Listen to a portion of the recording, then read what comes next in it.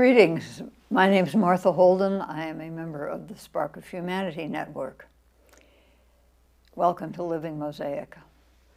Living Mosaic is a project of the Spark of Humanity Network aimed to explore and perhaps expand, and I extend the idea, the notion that there is a solution to the pain the causes of the pain.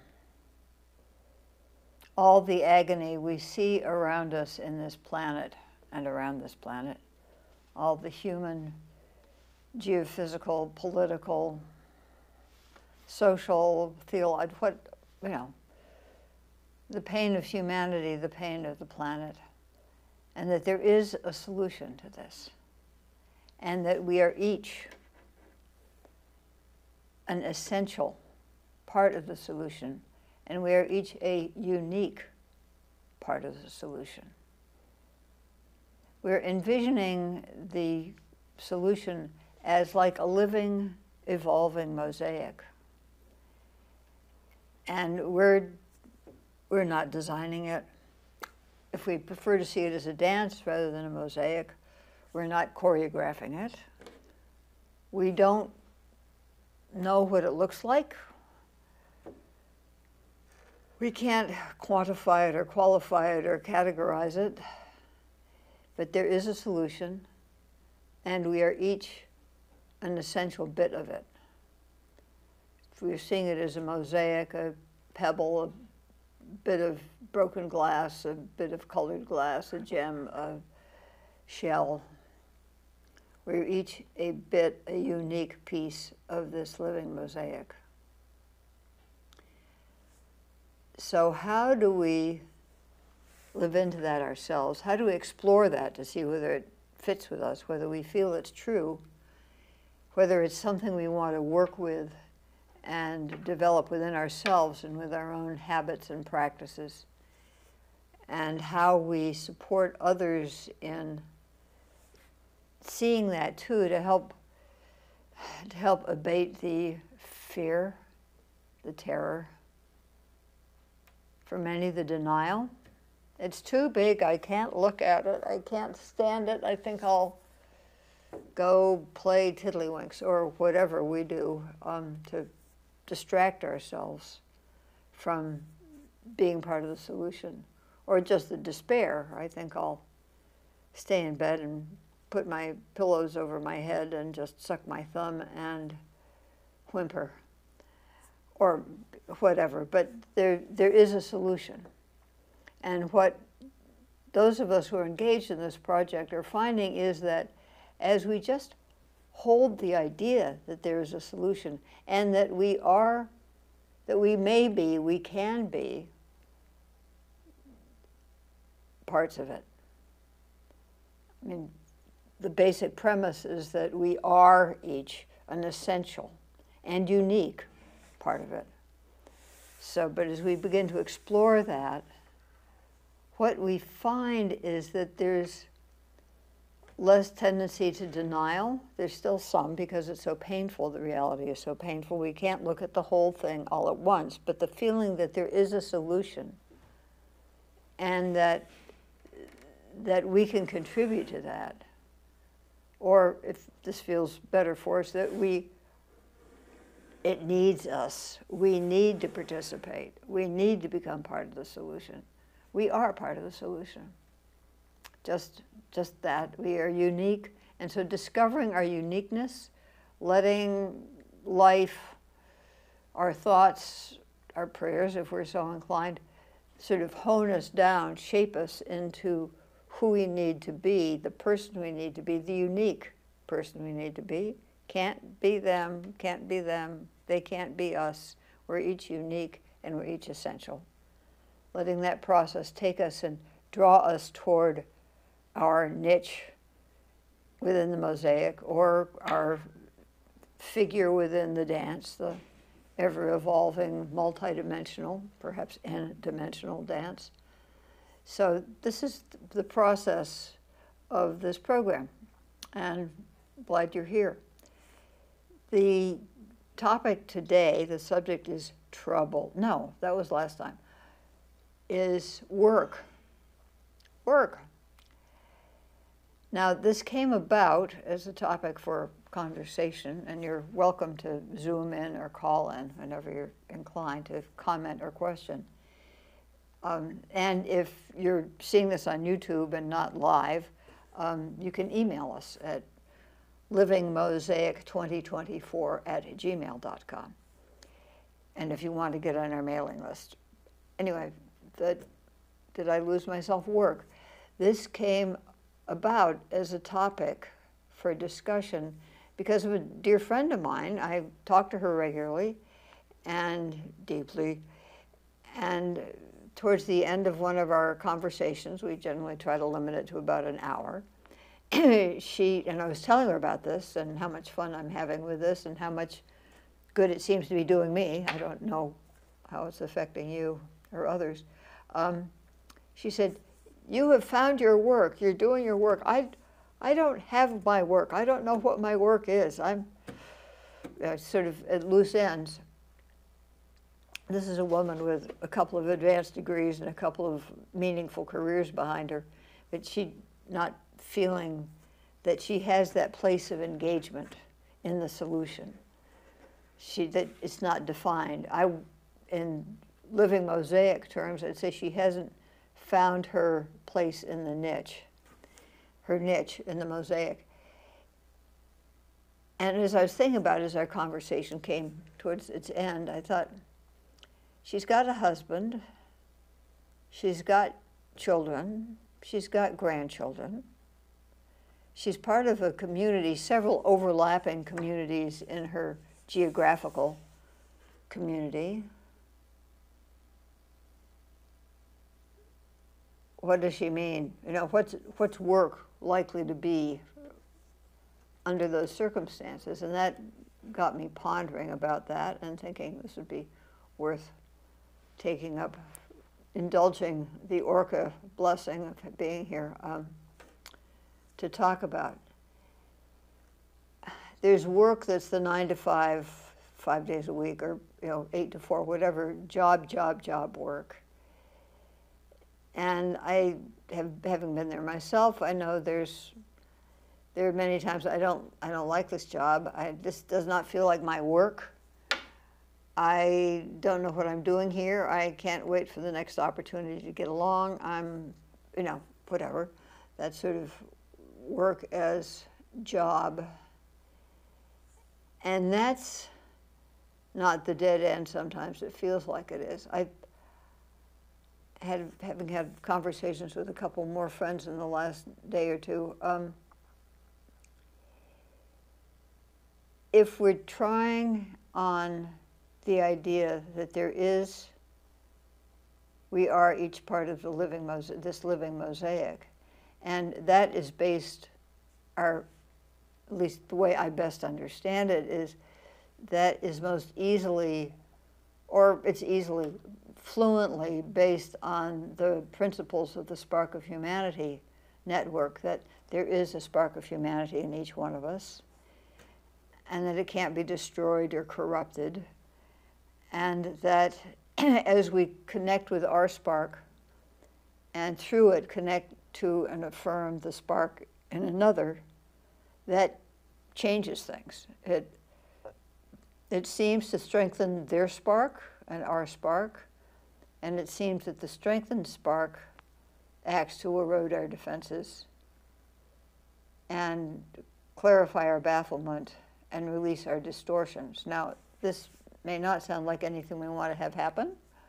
Our defenses have been well built for good cause, but to find our place in the mosaic, to be drawn toward where we truly belong, where we know we're most at home, where we are engaged as part of the solution, it requires that we're willing to maybe let go of some of our defenses and maybe have some of our bafflement clarified and release some of our distortions. Distortions that we've developed because of our fear and our pain and the challenges, our desire to survive. But these can all be getting in the way of our being drawn into our niche in the mosaic. So that really, in the larger sense of work, that that is the work. It's retooling ourselves, it's trying out bit by bit, because what I've found is just doing a little bit of this work, the, the spark of humanity work approach, or just the straight living mosaic, doing it sort of from the head and gut of there is a solution, and I want to be, and I am an essential part of it. And so, how do I get there? How do I get how do I get on the trolley tracks that are leading me from who I am, where I am now, to my place within the mosaic? Or how do I get on the zip line that'll take me there? And that's, that is work, letting go of becoming willing to let go of, willing to be transformed, as we say in the Spark literature, willing to be transformed so that we may become uh, um, available to alignment that will draw us into our place within the mosaic or closer to it. Because the mosaic is living and evolving.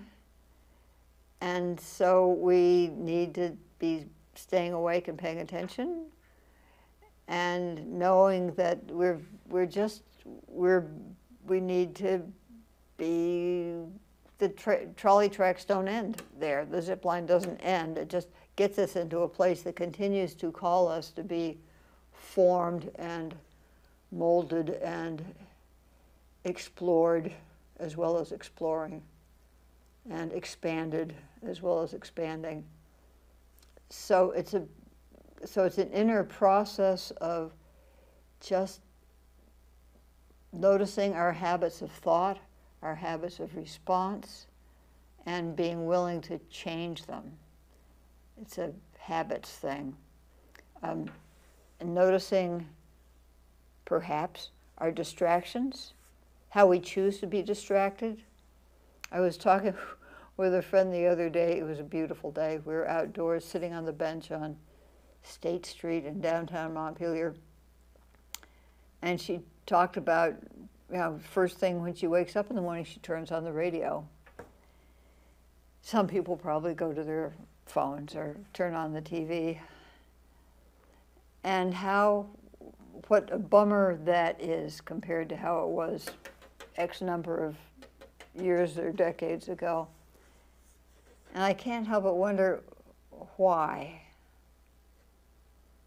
why do we choose to distract ourselves? I need to know. Do we really need to know?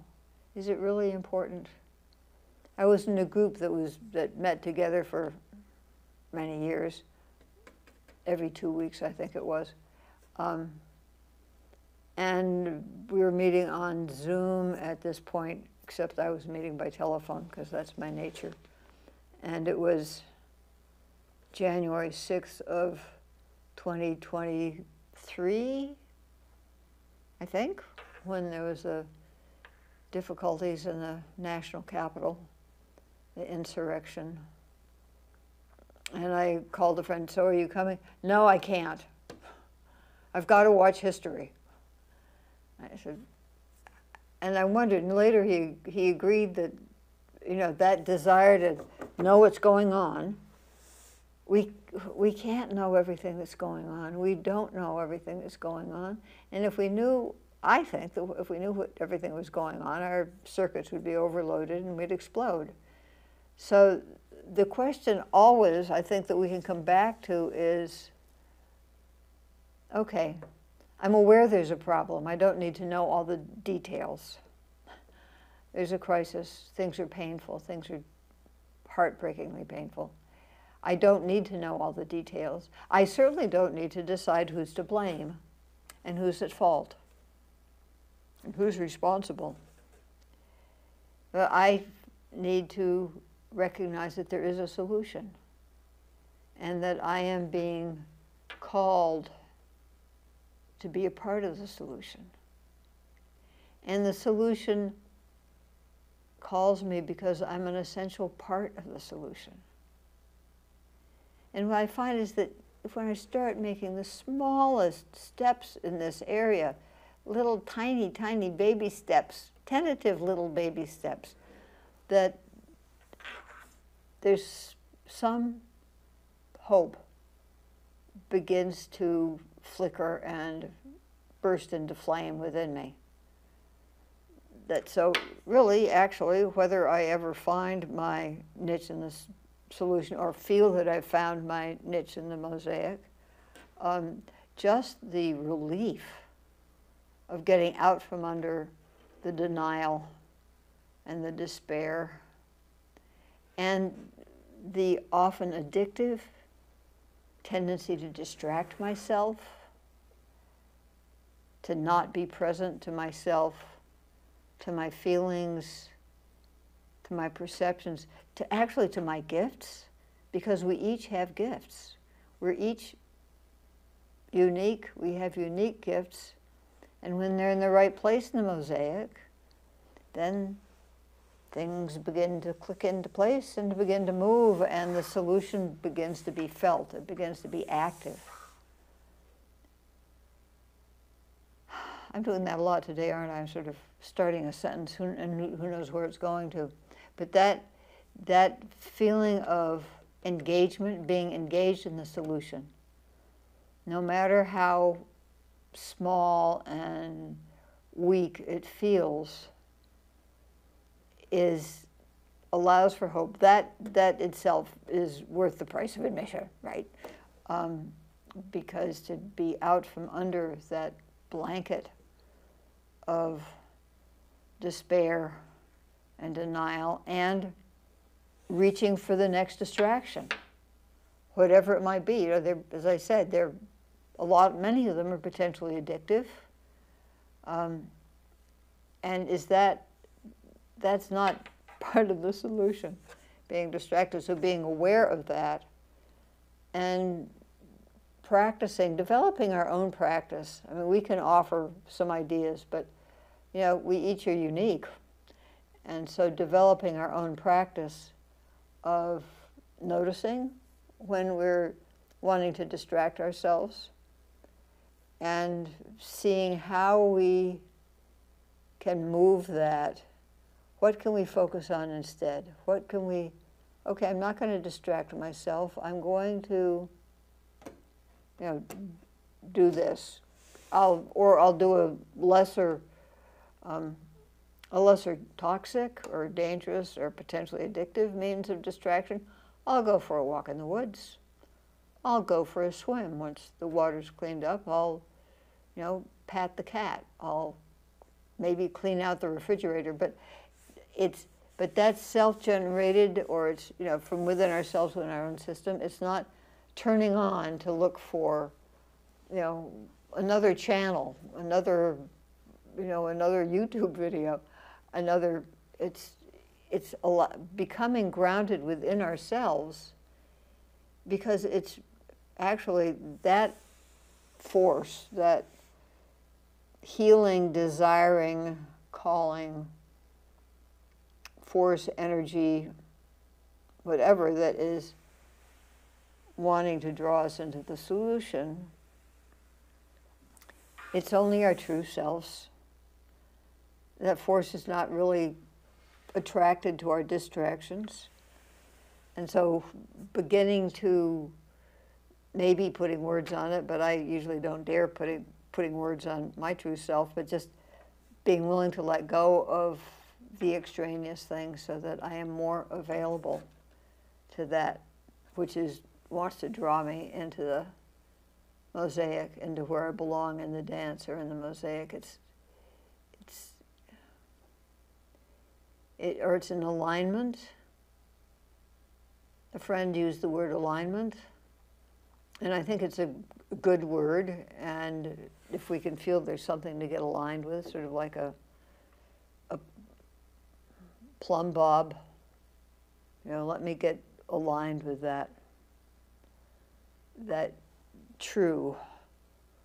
That corner of that house is true. If we get true, that's a good, that's one, one way to see it. I think that I'm kinesthetic, sort of visual. Um, different people need to work these things around to find their own images or thoughts or whatever can help you become amenable to being moved. But as the friend said alignment, and I thought, ah, trolley tracks from here to where I where I need to be in the mosaic, where the solution where the solution is calling me to be to lodge. So I've run out of steam for the moment, and so I will be silent, invite you to join me in prayer or whatever you do, and then I'm sure something will come up and I'll take off again. But for the moment, let's just be and see how we can work at this. Oh, yes, another facet of the work. Um, besides within ourselves, and the outside and the inside do now intermesh, they're connected. Um,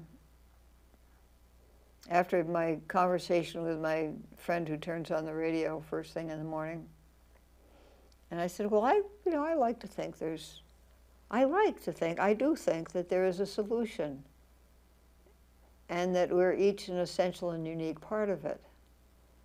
And so I just mentioned that to her. I did not pound it into her, but I just sort of, this is what works for me. And she was quite taken with the idea. I don't know what she'll do about it or where she'll go with it. And then the next morning, I, a friend came over and he was in a, you know, ain't it awful grumble. And, you know, we get that so they can be so attractive and gather people around us who are into their ain't it awful grumbles, and we can all feed off each other's ain't it awful grumbles. Um, and maybe we can agree whose fault it is. Um, or maybe we can just get angry together. Yeah, yeah, I, yes. Um, it, I think for me, I know part of the work is say, well, you know, I've come to think there's a solution. And that we're each an essential and unique part of it. So rather than, I don't say this rather than grumbling, I say I, I find that that makes my life, I like life better when I realize that I'm a unique and essential part of the solution. And so to consider how I might find out what that part, to discover that part within myself that's unique and essential, to be willing to do that for the good of the planet, for just, and for my own joy and comfort. I don't, I, I'm much gentler than that. But to be able to bring this concept into conversations you know, how many conversations this past week you've had that were just grumble grumbles? Um, and you may have enjoyed them very much, but you can make a different choice. And in a way, they just, in my mind, they just, at least for me, they just dig the hole deeper. And it gets stickier and stinkier as it goes down. So might consider that as part of the work, just gently suggesting the alternative to the people you run into. So thank you for joining me. You are invited to, encouraged to um, like us on Facebook or do whatever one does on Facebook for enterprises such as this, and to get in touch with us by the email I just gave you, um, and to be grateful for the good people here at Orca and the other people who are involved the iceberg of which I'm merely the tip. So thank you for joining us and have a lovely until next time. Take care.